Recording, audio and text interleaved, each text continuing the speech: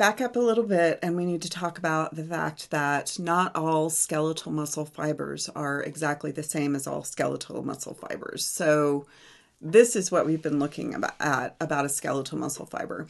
And this is true. Um, there are just variations in the types of muscle fibers that exist. So, do they all have myofibrils and mitochondria and calcium and all of this kind of stuff? They totally do. But they have um, predispositions for how quickly they're going to contract and predispositions for whether they are really, really good at using, um, at generating uh, ATP aerobically or anaerobically. So let's talk about the types of muscle fibers that exist.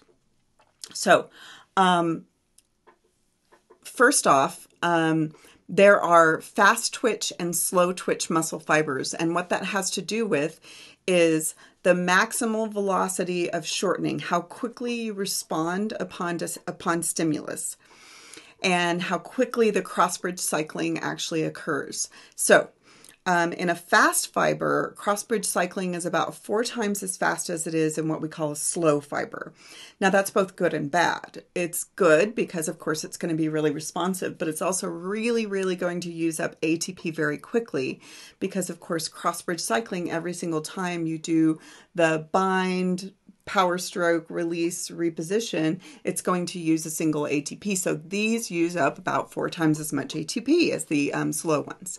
So you don't always want to use those. The other thing is um, how it's set up for metabolism. So, skeletal muscle, of course, goes through cellular respiration, but some skeletal muscle fibers have more enzymes for oxidative phosphorylation, uh, oxidative phosphorylation going all the way through and generating lots and lots of ATP. Not very quickly though, um, but uh, generate ATP, a lot of ATP.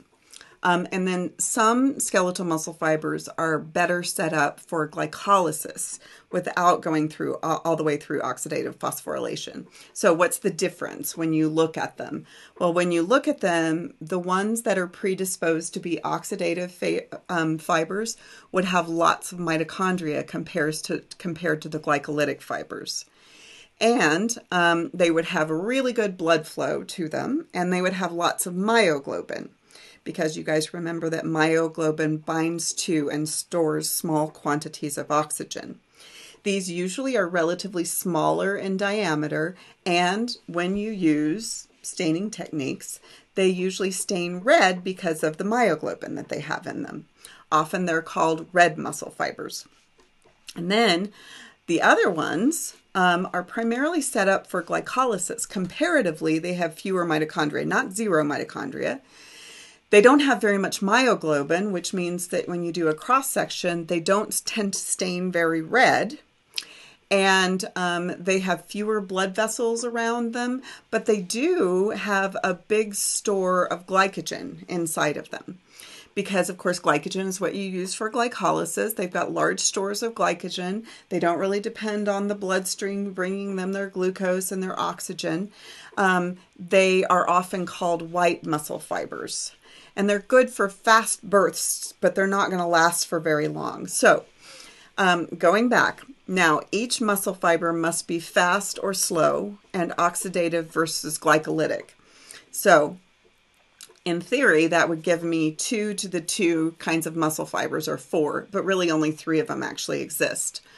There are what are called the slow oxidative that are the smallest in diameter and they basically can maintain contractions for the longest of each any of them slow oxidative SOs this includes like the postural muscles of the back like the erector spinae muscles and the um, quadratus lumborum muscles they're the first ones to get recruited they're going to last for a really long time think of them as like um, marathon runners of the muscle world. Not that marathon runners only have these. And then um, the fast oxidative ones. Um, so, by the way, the slow ones are going to u- have slow rate of cross bridge cycling, but but the energy is going to be available for a really long time because they use oxidative phosphorylation. And then there's going to be the intermediate diameter fast oxidative ones these are not super common in the body, but they do exist. They are um, intermediate in strength and intermediate in longevity. So they're going to use up their ATP relatively quickly, but they're also going to generate quite a bit of it. Um, these are intermediate muscles. And then the fast glycolytic ones are the um, like the biceps brachii. These are very, very strong, but they get their ATP primarily by glycolysis.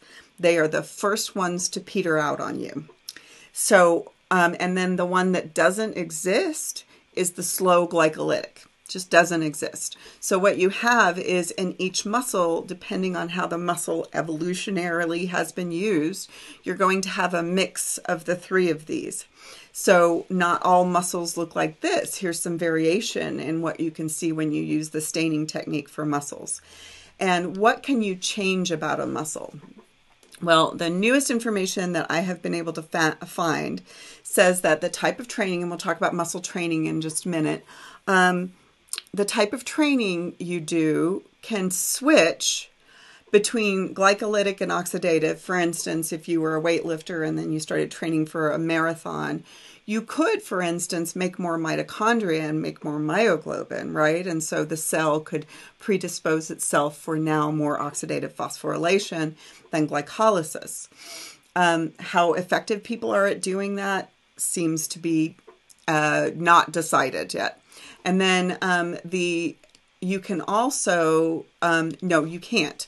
Um, the thing that we don't think can occur with the current level of knowledge that we have is that the fast twitch versus slow twitch, you can't switch between the two of them because that seems to have been developmentally determined by the type of myosin that is actually in the muscle fiber.